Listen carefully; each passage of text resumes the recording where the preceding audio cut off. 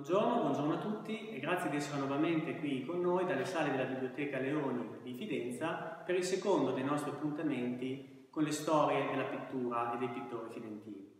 Se nell'appuntamento precedente ho trattato la figura di Oreste Emanuelli cercando di portare l'immagine del pittore contadino al di fuori della tradizionale visione della pittura di paesaggio locale, oggi vi parlerò di Ettore Ponzi, che degli artisti legati a Borgo San Donnino è probabilmente il più fidentino fra tutti, anche nell'immaginario popolare, perché il nome di Ettore Ponzi si associa immediatamente a Fidenza, ai suoi monumenti, alle sue strade, alle sue piazze, ai suoi luoghi iconici che ha dipinto e molti dei quali ormai, come nel caso della famosa rocca di San Donnino, esistono solo nei suoi quadri e nei suoi eh, colori.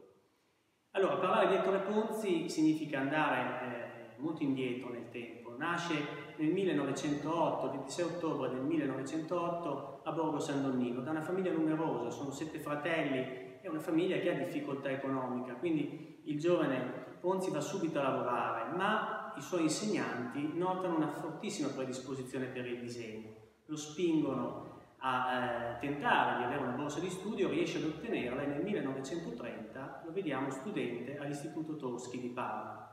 Qui incontra degli artisti che lo aiuteranno molto nella sua formazione tecnica e pittorica, Guido Marussi, Gando Baratta, personalità importanti dell'epoca, che rendono la figura del giovane Ponzi già nel 1934, quando lui si, si, diploma, un artista completo. Da che cosa capiamo noi che nel momento in cui esce dall'istituto d'arte è già un artista formato? Ci sono due quadri, uno è pensato del 32, ha solo 24 anni e dipinge queste capanne eh, dello stirone che sono per me un esempio molto interessante di quella che sarà poi anche l'evoluzione della sua pittura. Capanne dello stirone avvolte in un manto di neve che guarda sicuramente alla pittura dell'impressionismo che tanto Ponzi amava, quindi ci sono gli echi della pittura di Monet, delle grandi nevicate di Sise, di Pissarro, quindi una pittura che possiamo già definire en plein air, ma quello che ci colpisce è la maturità che eh, traspare nelle pennellate dense, forte di Ponzi.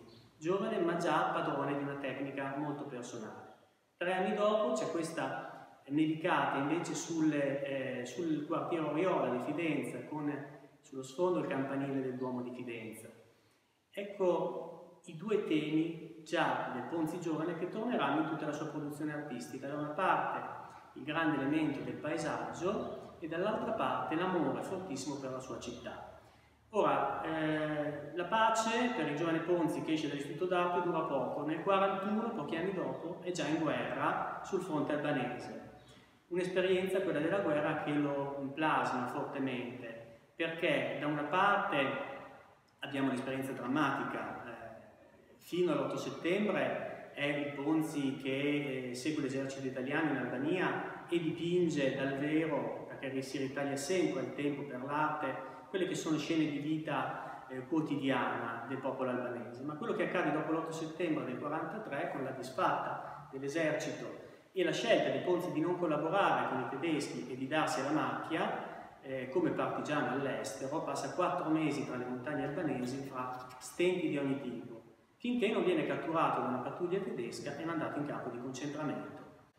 Nel campo di concentramento, ancora una volta, l'idea, che è un po' il filo conduttore di questo mio intervento, dell'arte, l'arte che salva il mondo, l'arte che salva l'uomo, perché comunque confinato all'interno di un campo di concentramento, Ponzi fa una scelta molto forte, cioè fa la scelta di resistere, di resistere al nulla della guerra diventando lui stesso creatore di arte. Quindi la creazione contro il nulla.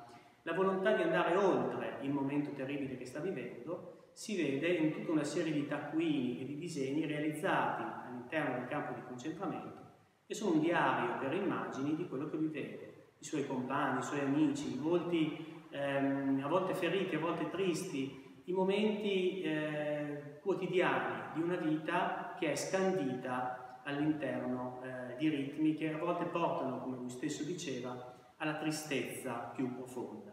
Quello che lo salva dalla tristezza è la scelta di dipingere, sempre e comunque. È una decisione di eh, rispondere alla bruttura e alla mostruosità della guerra rimanendo umani, facendo il meglio che si può fare eh, con la propria arte.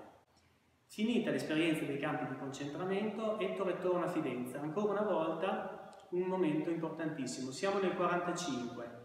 Aveva lasciato Fidenza quattro anni prima, nel 41. Quello che lui trova rientrando in città è una città completamente devastata. Non c'è più la città che aveva lasciato, non esiste più la sua casa distrutta dalle bombe. I vicoli, i monumenti sono sfregiati dai bombardamenti. Cosa fa Ponzi? Si lascia andare alla disperazione? No, reagisce ancora una volta. Lui è un creatore, lui deve creare e fa quello che lui stesso, con una parola che mi ha sempre colpito molto, dice nei suoi diari. Ho piantato il cavalletto tra le macerie. Ecco cosa fa l'artista, non si lascia andare ma decide di rispondere con la propria arte.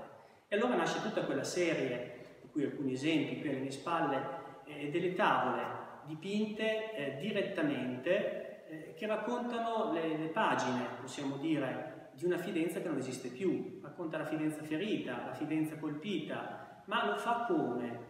Non drammatizzando, non enfatizzando il fatto terribile che ha colpito Fidenza, ma facendo scendere sulle rovine, sui monumenti feriti, sulle strade che non esistono più, un velo di poesia, la poesia di una pittura che ci parla di luce, che ci parla di stagioni che si alternano, che ci parla di colori che lasciano trasparire un vero e proprio gesto d'amore nei confronti di questa amata perduta che Ettore ritrova nel 1945.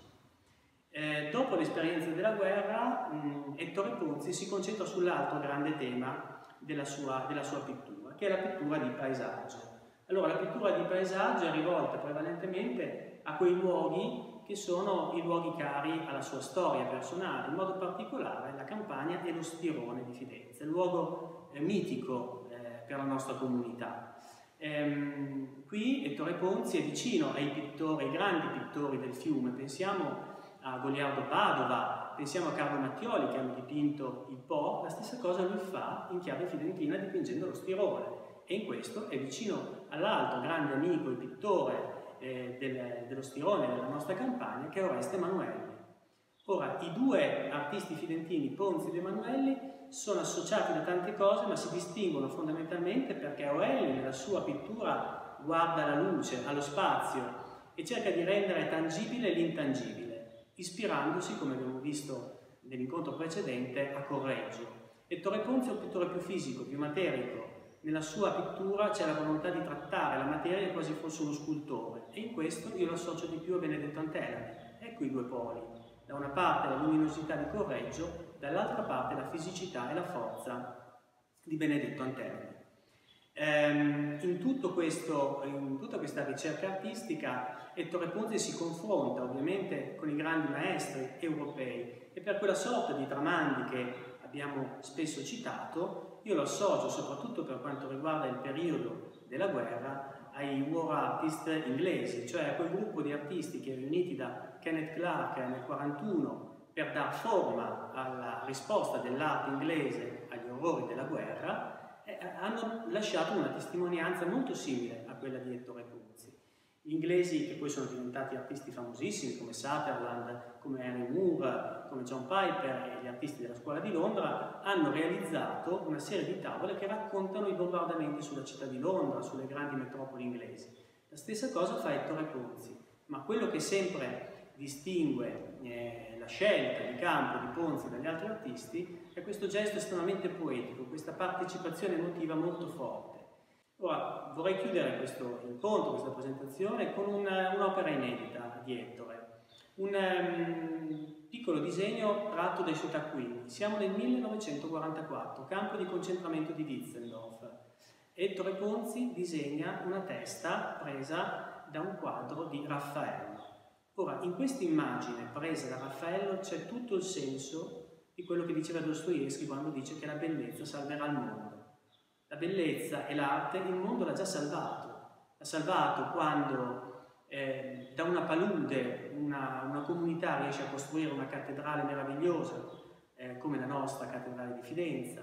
Il mondo l'arte lo salva quando un artista come Ettore Ponzi, dall'interno di un campo di concentramento, sceglie di rimanere umano, sceglie di rispondere con la bellezza alla bruttura e alla devastazione della guerra. In questo mi vengono in mente le parole di Tommaso Montanari che dice L'arte è la dimostrazione che siamo radicati in una possibilità di infinito.